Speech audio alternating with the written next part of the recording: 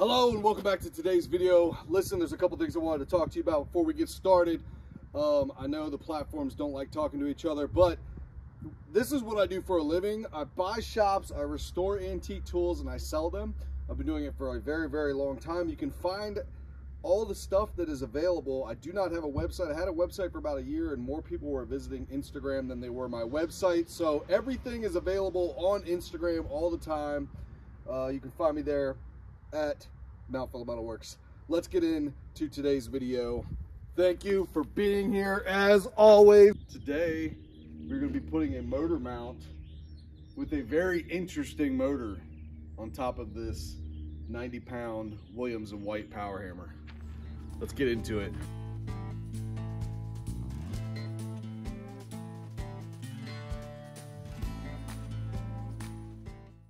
So if you haven't figured it out by now, this hammer ran on gas. So the guy I got it from didn't have three phase in his shop. The motor was three phase, so he opted to put a gas motor on it. And it has this cam system, so you would take tension off of the belts, start the engine, and then reapply the tension.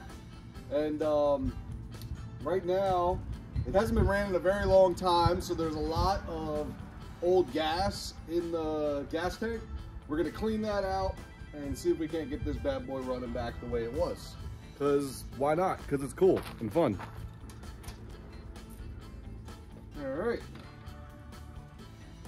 So it's on a cam system.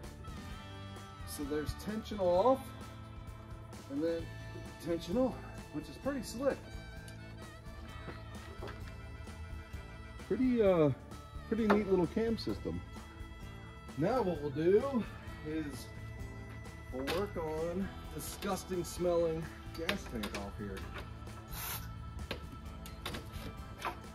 There is no other smell in the world like rotten gas. There you go. Oh yeah. Okay. We Got the gas tank off, let's clean it up. I was actually able to pull this little nozzle out of the bottom of the tank and just drain it completely and get all the crap and gunk and everything out of there. So we can reinstall that. All in all, that only took like literally five minutes.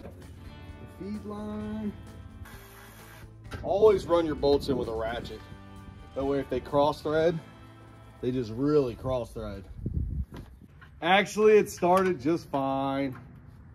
Nothing cross threaded. Let's give this thing a drink of some 110 octane race fuel, because that's all I have right now. Okay, I like it. As far as starting goes, I have no idea how he was starting this. There is a electric start in the whole flywheel. This sucks.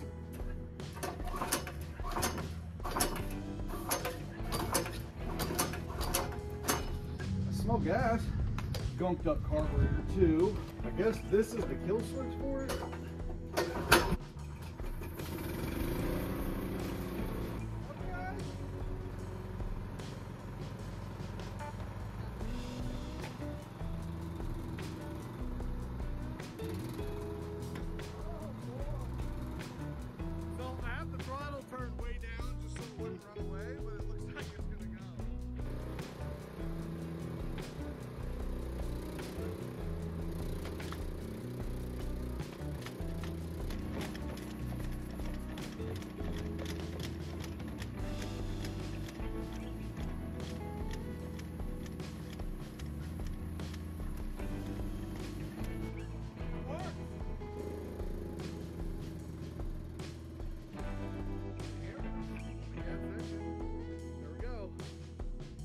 So that's it.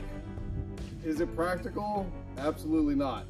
Uh, if you didn't have power in an outdoor shop, excellent choice. Works perfectly. Can't can't say enough about how well this actually works. I did not think it would work that well. I don't know why I didn't think it would work that well, but how often do you see a gasoline engine on a power hammer? So there you go. It's just rotation, right? As long as there's enough oomph to get the mass going, works perfectly. This hammer is amazing. It is a 90 pound head weight Uh, probably a 10 pound block, probably a hundred and, uh, you know, 100 pound gram weight hammer. This is a Williams and White, 1902, I believe. Anyway, um, yeah, thanks for watching. Like, comment, subscribe. That was fun. That was cool. What am I doing with my hands? This is a thing you got to do when you're on YouTube. Apparently, you move your hands all around.